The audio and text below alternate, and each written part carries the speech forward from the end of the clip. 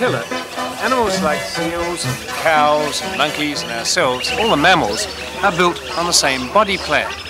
Which means that the bones that I've got in my arm and my leg are the same as the bones that the seal's got in its flippers. Well, let's have a look and see what that means. If I put my arms or hands flat on the ground like that, obviously I've got five fingers or four fingers and a thumb on each hand, and they're pointing like that if I were to walk on all fours. For a horse, it's like this. They walk on their middle toes, up on the hoofs, which, which are the uh, enlarged fingernails. And a cow walks like that. And a dog walks like that. But all of us walk with those thumbs, or what's left of them, pointing to the middle. Well, a seal doesn't. It's one of the very few mammals that walks with the thumbs, or their equivalent, pointing to the outside, although the bones of the thumb are buried deep in the flipper. So that it has to rearrange its flippers in that position. And a seal at rest, sitting on the ground, is basically doing this. But watch what happens when the animal goes into the water, because there the sea lion's hind flippers work almost the same as a fish's tail. They come together to help it to swim.